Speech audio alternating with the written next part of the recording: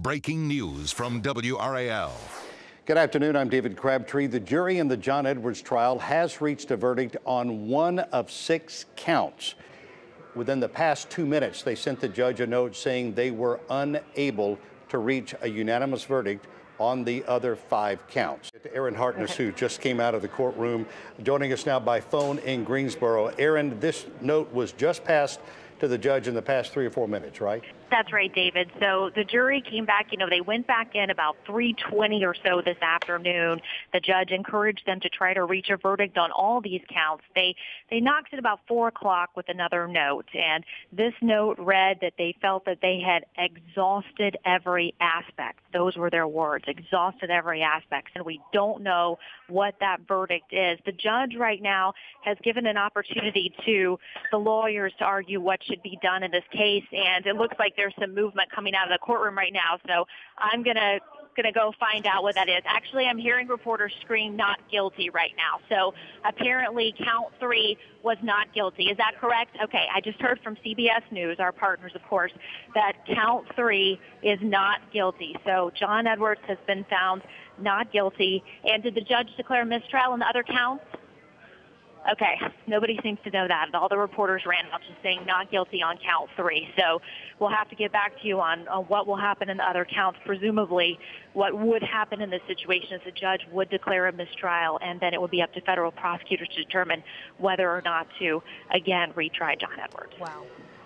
Erin Hartness, thank you for that. Uh, folks, you're watching and you're listening to this being, uh, this developing story, breaking story being processed as we are. You just heard Erin Hartness say she was told by her counterparts at CBS News, John Edwards found not guilty on one count of the six count indictment. The jury has said it's unable to reach a verdict on the other five counts.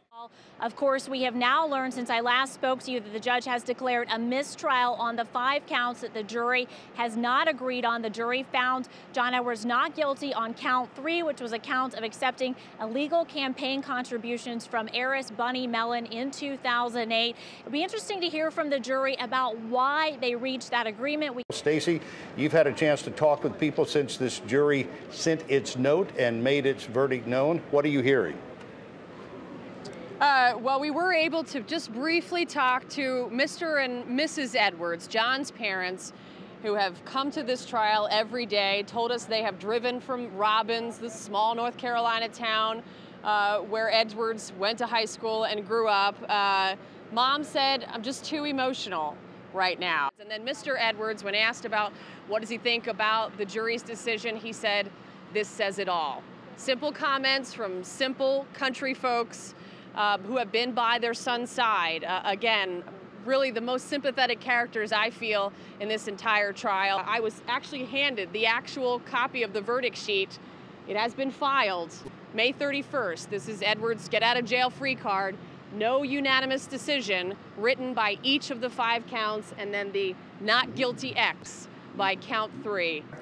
So, from what we understand, he is behind those doors, about to come out in any minute and any moment. And Kelsey, as we wait, what happens next? Do they prosecute again, or is it just too expensive to go down this road again? Well, I've talked to a number of attorneys who, you know, this is their opinion, of course, but a number of attorneys who Oh, apparently John Edwards is waiting behind that door right now. And, and as you heard from the attorney there, that uh, he would like to get in his car. And there, there is John Edwards, followed by his dad, mm -hmm. And his mom, and, and uh, Cate. We'll see if he does stop, may have anything to say on his way out. It appears he is approaching the microphone. He's going to give a comment to the media. Let's listen in to John Edwards. Well, I wanted to say first, uh, thank you for the jurors and their incredibly hard work and their diligence. Uh, they took their job very, very seriously. That while I do not believe I did anything illegal or ever thought I was doing anything illegal, I did an awful, awful lot that was wrong.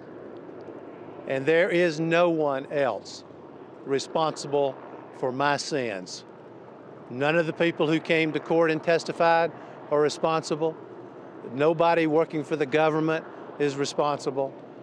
I am responsible. And if I want to find the person who should be held accountable for my sins, honestly, I don't have to go any further than the mirror. It's me. It is me and me alone.